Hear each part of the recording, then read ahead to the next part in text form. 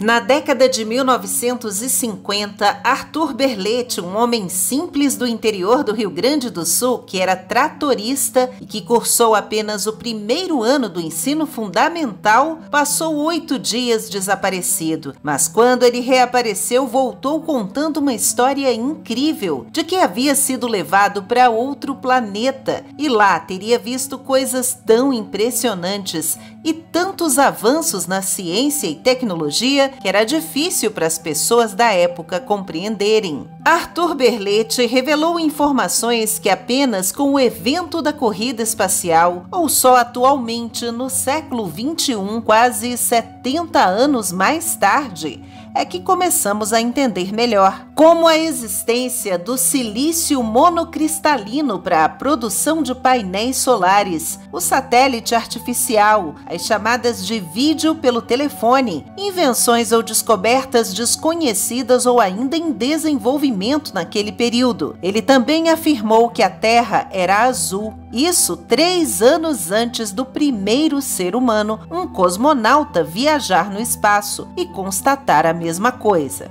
Olá, amigos da história! Se ainda não temos uma comprovação científica da existência de vida inteligente fora da Terra e muitos duvidam dos avistamentos de naves alienígenas e de contatos com seres extraterrestres ou interdimensionais, é no mínimo intrigante o relato da suposta abdução de Arthur Berlete, contada por ele mesmo nesse livro em 1958, intitulado Os Discos Voadores da utopia à realidade, narrativa de uma real viagem a outro planeta. O caso é mais impressionante ainda se levarmos em conta o contexto em que ele vivia e a pouca educação formal que possuía. Morador de Sarandi, no Rio Grande do Sul, e igual a muitos outros gaúchos, Arthur Berlete era descendente de alemães e aprendeu o idioma estrangeiro na infância em casa, o que seria muito útil como veremos veremos mais tarde. A profissão de tratorista não era a única que ele exercia e, ao mesmo tempo, também tentava a vida como fotógrafo ambulante. Naquele período, era comum percorrer o interior indo de casa em casa para tirar aqueles retratos de famílias posando, especialmente das crianças. Essas fotos depois eram pintadas, retocadas à mão num quadro. Naquele dia 14 de maio, Arthur Berlete retornou a algumas casas da zona rural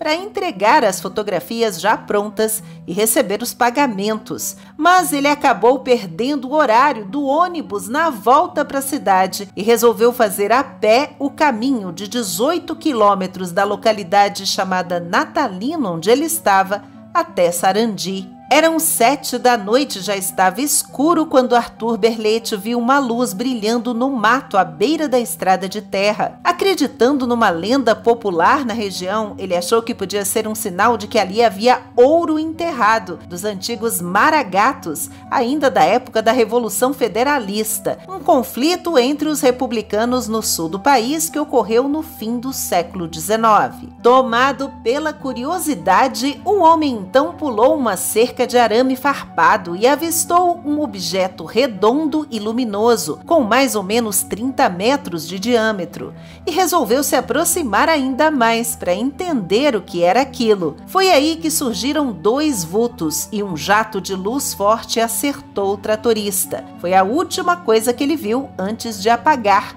pois desmaiou na hora. Quando abriu os olhos, já se encontrava dentro de uma nave, deitado, num ambiente que ele comparou inicialmente a uma sala de hospital. Depois pensou estar a bordo de um navio. Havia várias pessoas ao redor, exatamente iguais aos seres humanos, mas ninguém parecia prestar muita atenção nele. Só depois é que ele foi conduzido por alguns corredores, por câmaras, pequenas salas e por várias portas até o lado de fora, quando pisou em terra firme numa cidade completamente desconhecida e diferente de tudo que ele havia visto antes. De prédios altos com muita claridade, em que as paredes externas tinham luz própria, as ruas que eram estreitas e lotadas de gente para lá e para cá, e acima deles, veículos voadores transportavam mais gente ainda. Se sentindo mal e se adaptando aos poucos a uma outra gravidade, Berlete descreveu. Tive a impressão de que havia perdido metade do meu peso e, ao mesmo tempo, de que meus ombros haviam aumentado de volume. A partir daí, o tratorista narra como foi recebido por várias pessoas reunidas que falavam uma língua estranha e que pareciam discutir entre elas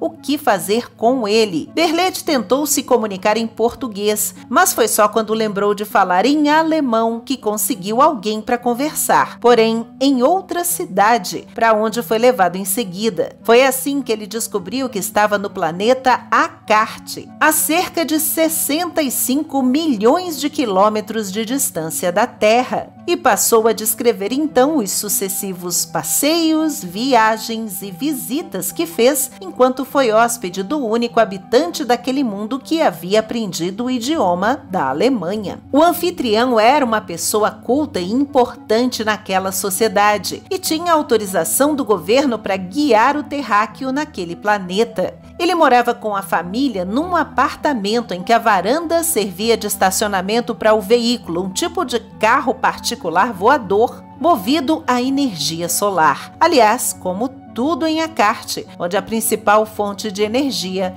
era o Sol. Como podemos ver nesse diálogo do livro, iniciado com uma pergunta de Berlete: Como que é movido o motor deste aparelho? Virando-se para mim, respondeu o extraterrestre: Com energia solar. Energia solar? Mas que força motriz vem a ser esta?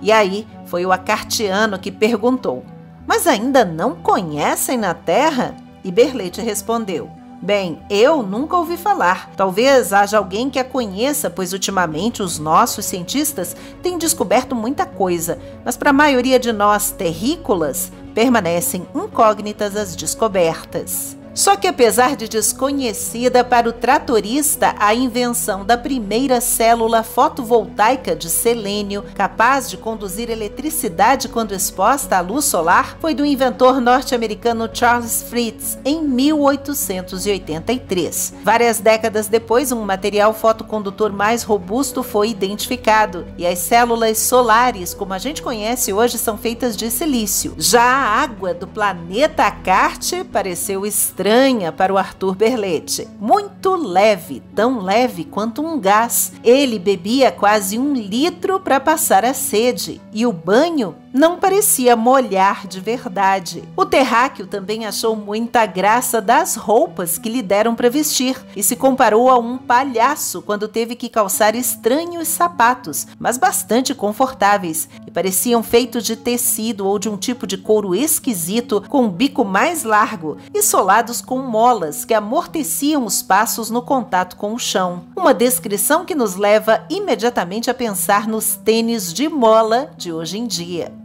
Por onde passava, ele fazia muitas perguntas e recebia muitas explicações técnicas sobre as maravilhas daquele admirável mundo novo. Mas, como nem sempre entendia, confessou no livro que às vezes também não prestava muita atenção. Mas, com a ajuda do intérprete, ele descobriu, por exemplo, que os acartianos tinham aparelhos capazes de tirar a foto da cabeça de um prego no planeta Terra a centenas de quilômetros de distância e que eles também acompanhavam as transmissões de rádio e de TV dos terráqueos, e foi assim que aprenderam alguns dos nossos idiomas. Acontece que o primeiro satélite artificial da humanidade foi o Sputnik, que havia sido lançado pelos soviéticos poucos meses antes, em 1957 então era uma grande novidade naquele momento. O brasileiro ainda ficou espantado ao ver um casal de acarte, marido e mulher, conversarem pela televisão e ficou mais surpreso ainda quando foi informado que aquele aparelho, na verdade,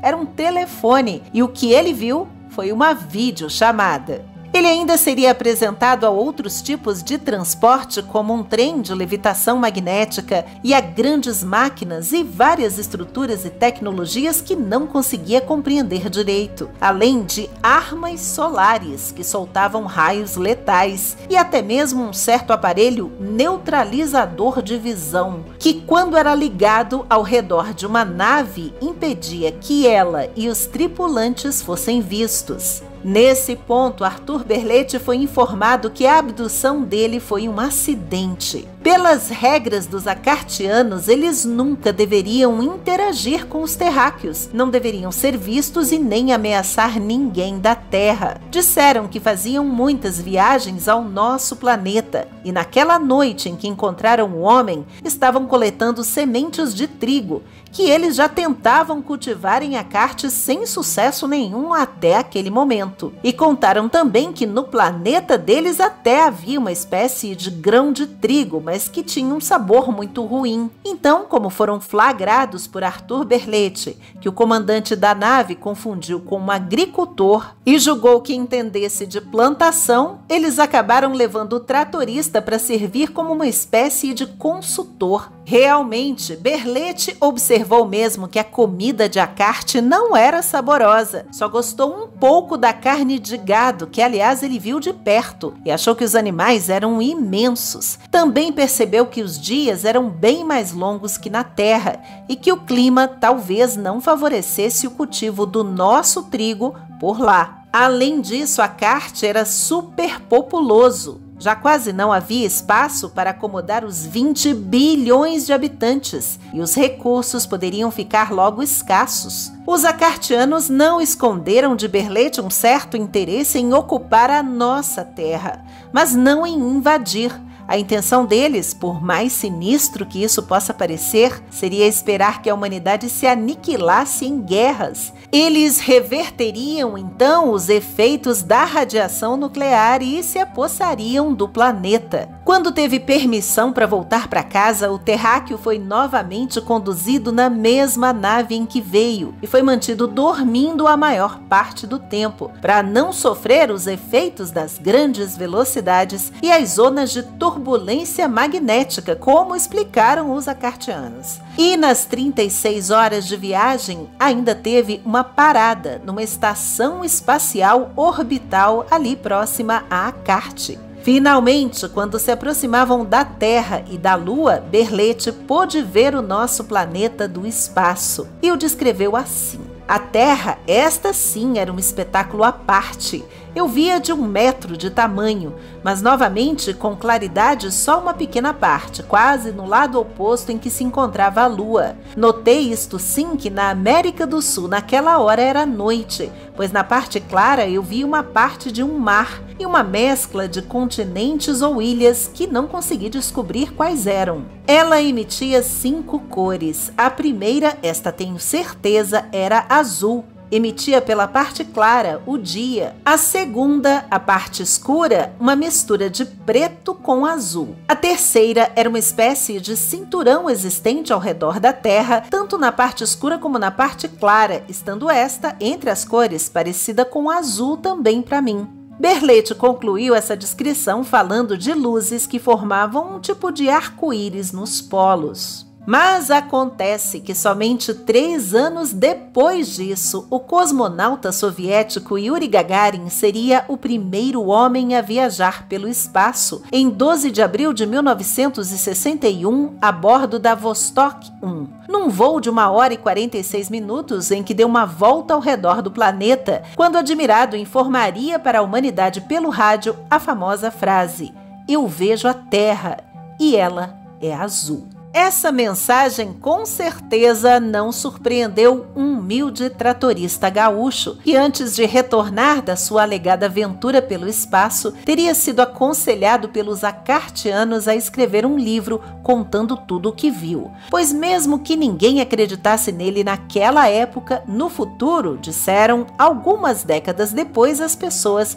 começariam a entender. Berlete voltou para casa depois de oito dias desaparecido, muito abalado, confuso, trancou-se num quarto e começou a escrever e a desenhar sem parar num caderno tudo o que ele lembrava. No começo até tentou esconder, só que esse caso de abdução acabaria famoso no mundo inteiro. O livro foi editado em alemão e até em finlandês. O tratorista e pai de família foi chamado até mesmo para a Alemanha para contar essa história, mas ele morreria pobre, como sempre foi, e também seria motivo de chacota e sofreria bastante com isso mas continuou a repetir esses mesmos relatos sem alterar uma vírgula até o fim da vida.